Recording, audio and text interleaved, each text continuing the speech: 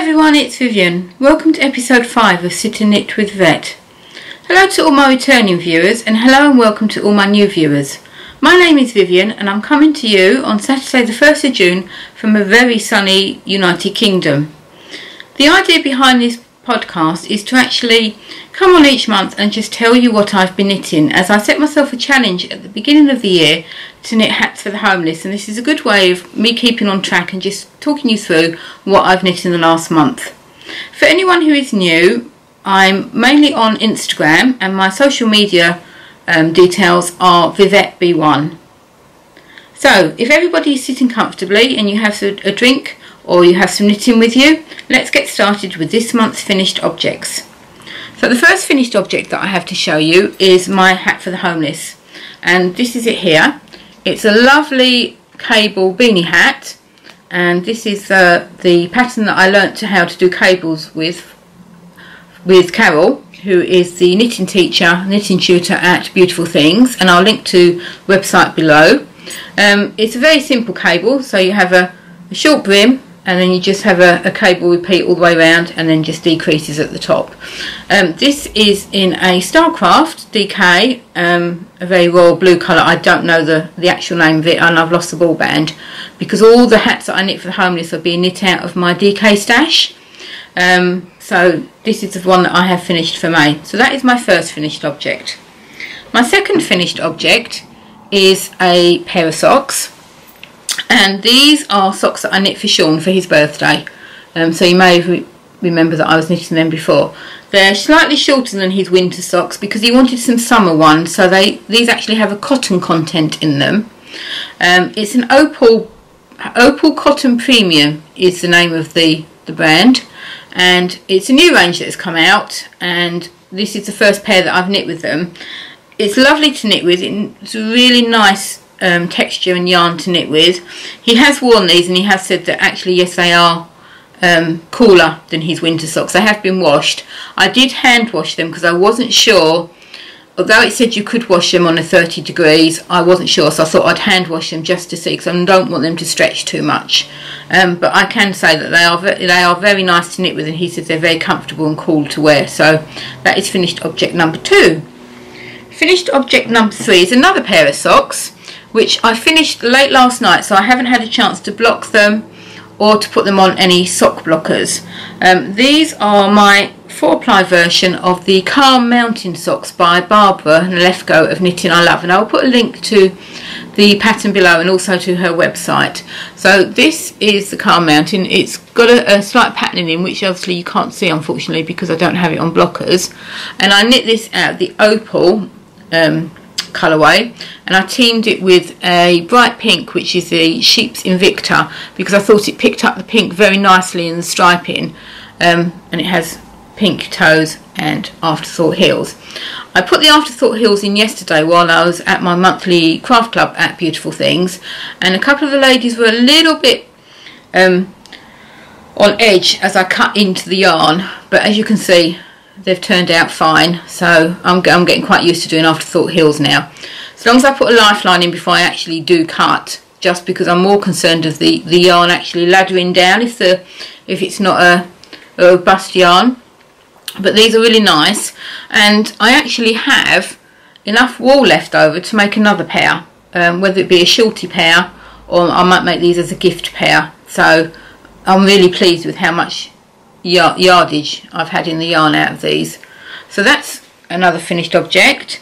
Um, two more to go and these are both tops.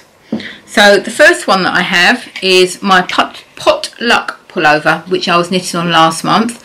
I'll insert a picture of here because I was wearing it yesterday but it's just a little bit too warm to wear it here today.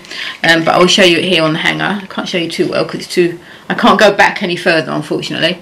So this is knit out of Drops Flora in their denim colourway which on the ball band is number 13 um, so it's just a top down and it's got a, a scoop neck so you, but with raglans and um, it's really really nice and you just knit all the way down and then you just put a garter band on the bottom.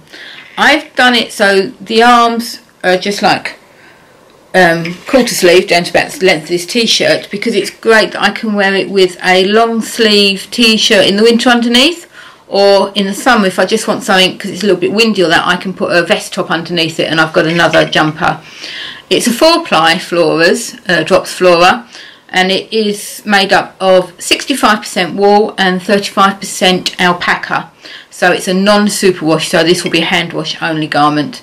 But I'm looking that I will make some more of these. I'm thinking I might do a fade version because as much as I love the fade sweater it's quite a close fitting sweater and I prefer mine to have um, some more positive ease but now that I've got a um, schematic of a, that I one that I really enjoy I should definitely be making more of these the other and final finished object that I have for you today is a top that I was test knitting for Melissa who is Skaynanigans on um, social media. She put a call out to for test knitters for her v-neck magpie tendency.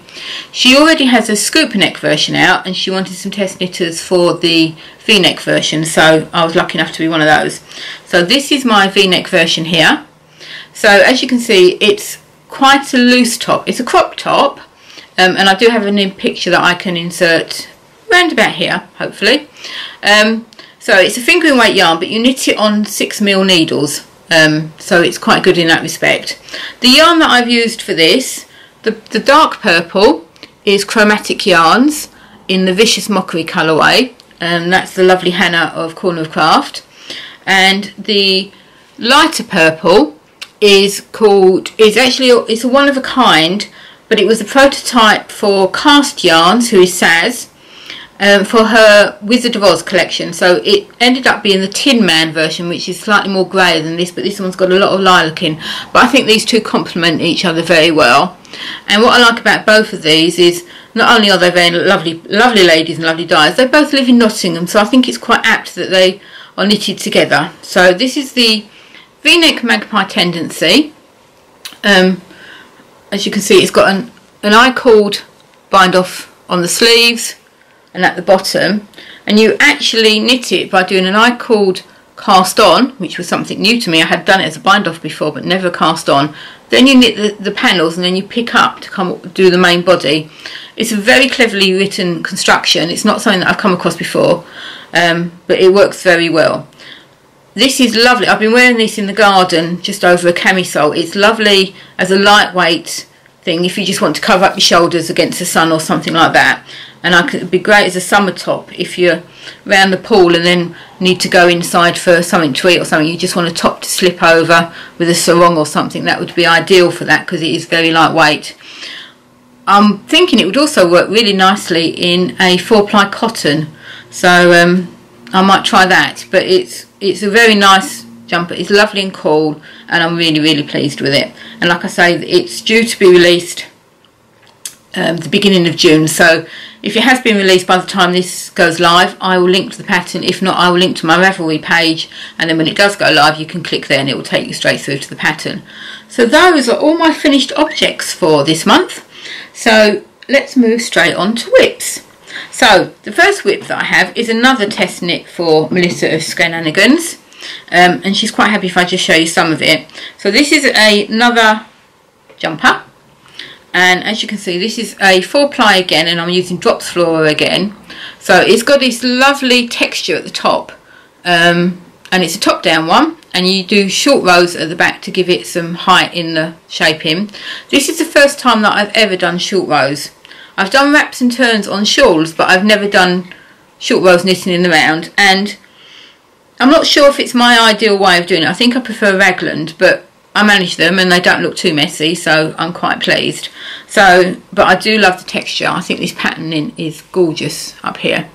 Um, and then when you get further down, you actually incorporate some stripes into it. So I'm just using, and the idea is to use up your minis. So you can put as many or as few minis in as you want, and you can do as many rows per per stripe as you like or as few rows as you like so hopefully I'll have this finished for you for the next video and hopefully it will also be released by then so those are, are that is my first WIP. my other WIPs are two more three more WIPs I think the first one is a another hat for the homeless, but this is going to be a long-term project. She says try not to slide it off the needles. She's dropped one. Um, this is going to be a long-term project. So you will have seen from my um, video last month that I'm making the Full of Minis hat by Barbara, who is Barbara Nalefko, who is Knitting I Love. Um, I will link to the pattern below, and I'm doing a four ply version for myself. What I decided to do with all my leftovers of my hats for the homeless is to knit a DK version which can then become another hat. So this one will just incorporate the leftovers from hats that I've knitted throughout throughout the, the, the past months. So this one will take a little bit longer to construct um, but I will hopefully have a, a final hat consisting of all the previous ones at the end of the year. So that's the DK version of the Full of Minis hat and I will link to the pattern below. And that's the, the next colour that was likely to go into it which is a bit of a turquoisey colour.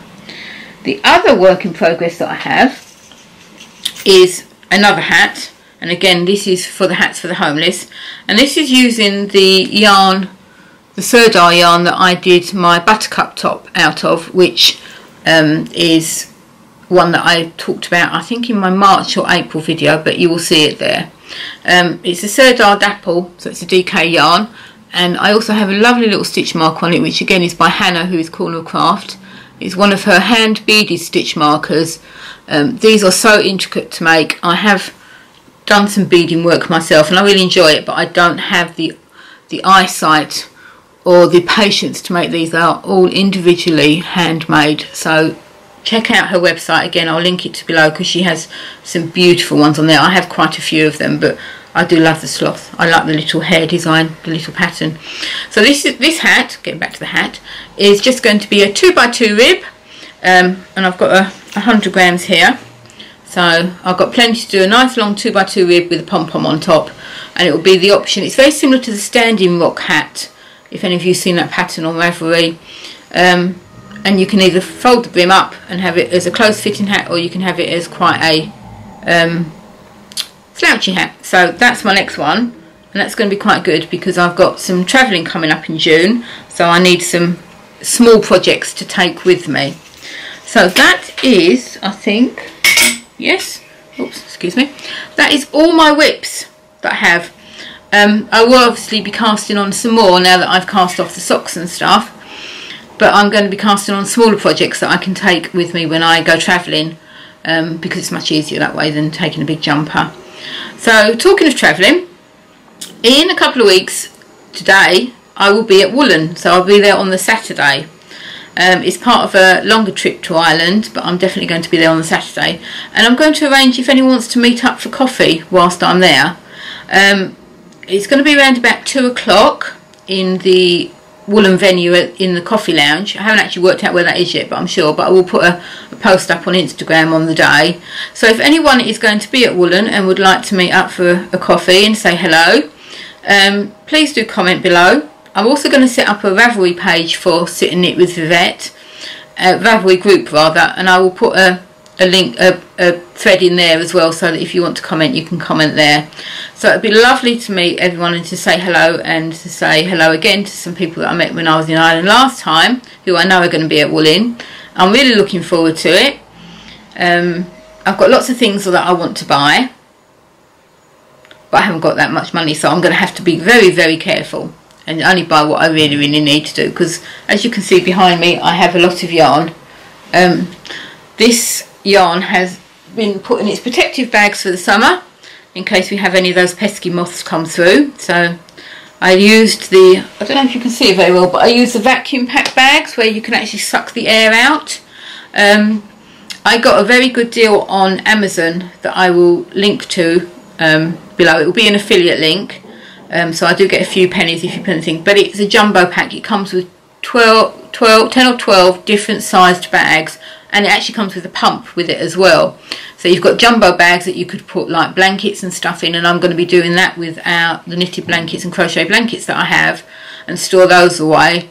And also other things like your jumpers and any knitwear that you might want to, to save from those pesky moths um, can do it. And it goes all the way up to the smaller bag. So what I've got here is I've got a medium bag and I've got two smaller bags which has managed to get all of my hand dyed yarn in which I'm really pleased about. So they will just quietly live there um, until the summer's over and I can get them back out on display.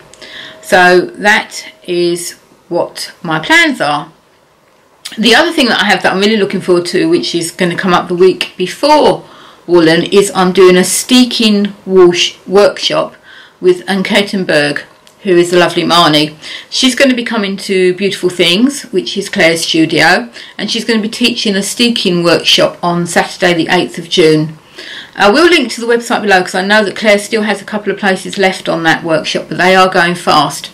So if any of you are wanting to do a steeking workshop and live local, that's a great way to do it. And also, Marnie is the designer behind the Sinister Cats cardigans, the Catdigans. Um, so she will show you then how, because that pattern actually, you knit it in the round and then you steek it to turn it into a cardigan. So if anyone wants to do that pattern, um, that's another good workshop. So I'm looking forward to meeting her on the 8th. And then I shall see her again at Woollinn because she's going to be at Woollinn. So I get um, double dibs, as they say. So that's all that I have to talk to you about today. Like I said, I'm trying to keep it quite short. So it's probably about 15, 20 minutes or so. Um, I hope you've enjoyed what you see. If you have any questions, please comment below and I'll be happy to answer them. If you've liked what you've seen, please give me a thumbs up. And if you've liked it enough to subscribe, please do subscribe. So thank you again for spending a few few minutes with me and I hope you'll enjoy the weekend and I shall catch up with you soon. Take care. Bye bye.